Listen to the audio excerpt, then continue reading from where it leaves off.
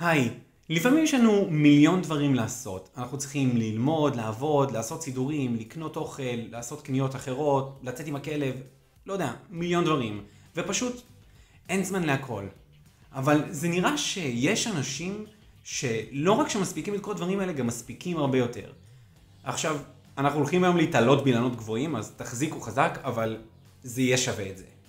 מכירים את ביל גייטס? הוא ייסד את מייקרוסופט, והוא היה היושב ראש שלה, המנכ"ל שלה, ואדריכל התוכנה הראשי שלה. הוא אחד האנשים הכי עשירים בעולם. יש לו בערך 90 מיליארד דולר בבנק. אז מה נסגר? איך בן אדם יכול להיות גם מייסד של אחת חברות התוכנה הכי גדולות ומצליחות בעולם, גם להיות בשורה של תפקידים ממש בכירים בה, וגם לעשות עוד מיליון ואחד דברים אחרים. עכשיו, הוא גם לא היחיד. אתם שמעתם על אילון מאסק? אה, אילון מאסק. בתור מהנדס, אני חייב להביא לכם את הדוגמה הזאת של איך אני תופס את אילון מאסק. There you go. You gotta be kidding me. Sorry? You're Elon Musk. I am?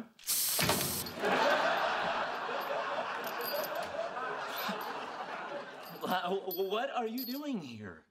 I'm washing dishes. well, I was on the turkey line, but I got demoted for being too generous with the gravy. Oh man, I, what an honor to meet you. I, I, I'm such a fan of Tesla and SpaceX, all your companies. Uh, Howard Wolowitz, Caltech. Nice to meet you, Howard. אז באמת, אילון מאסק הוא המייסד של טסלה וספייס אקס. הוא בן 46 ויש לו חמישה ילדים, ויש לו עוד איזה חמש חברות שונות שעוסקות בשימור אנרגיה ורובוטיקה, והוא גם ייסד את פייפאל. קיצור, הוא עשה באמת המון דברים, והוא עדיין עושה המון דברים. אז פשוט, איך זה יכול להיות? איך יכול להיות שיש אנשים שעובדים 80 שעות בשבוע, ויש להם חמישה ילדים, והם הכי עשירים בעולם, והם עדיין מספיקים לעשות כל הדברים שהם רוצים לעשות, וכשאני רוצה ללמוד למבחן, אני צריך, לא יודע מה לעשות, לא לישון בלילה או משהו כזה. אז האמת היא שיש שתי תשובות לשאלה הזאת. התשובה הראשונה היא שיש אנשים שהם פשוט יוצאי דופן. יש אנשים שהם ממש מיוחדים באיך שהם, וזה סבבה. אז באמת, ביל גייטס וגם אילון מאסק הם אנשים כאלה, אז, אבל אנחנו נשים את זה שנייה בצד, כי אנחנו רוצים לעשות סרטון פה על אנשים נורמליים.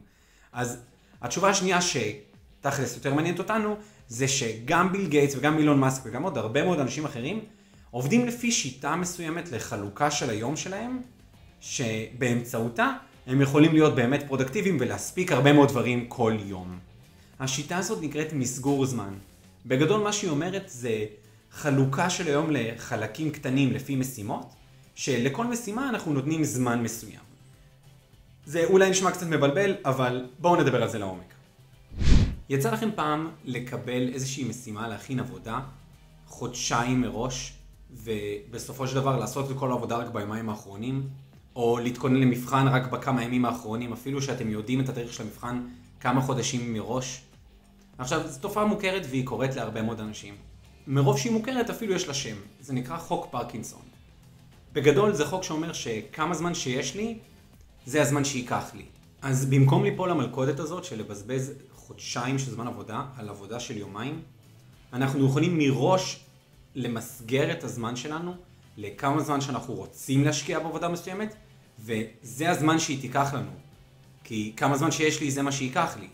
אז אנחנו יכולים לחשוב על זה כמשימה שאנחנו רוצים שהיא תיקח לנו שבוע, אז אנחנו אומרים, יש לנו שבוע אחד לעשות אותה, אפילו שצריך לעשות אותה לעוד חודשיים, ואז לעבוד עליה תוך שבוע אחד ולסיים עם זה. זה נשמע הזוי, אבל זה עובד. אז איך עושים את זה? יש כמה כללי אצבע ששווה לנו להכיר אותם. הכלל הראשון הוא שאנחנו רוצים לתכנן ביום רק את הזמן שבו אנחנו רוצים לעבוד או ללמוד. הכלל השני זה שאנחנו רוצים להעריך כמה זמן ייקח לנו כל מטלה, ולהקצות באמת זמן רלוונטי. נניח יש דברים שלוקחים חצי שעה ויש דברים שלוקחים שעתיים, אז אנחנו לא ניתן להם את אותו כמות הזמן במהלך היום שלנו. הדבר השלישי הוא שכדאי להכניס לתוך היום מסגרות זמן שהן ריקות להפסקות, והדבר הרביעי הוא שכדאי להכניס מסגרות זמן שהן פשוט ריקות, שהן גמישות, למקרה שיש איזשהו שינוי בתכנון, ופתאום היה משהו שאנחנו לא חשבנו שהולך לקרות.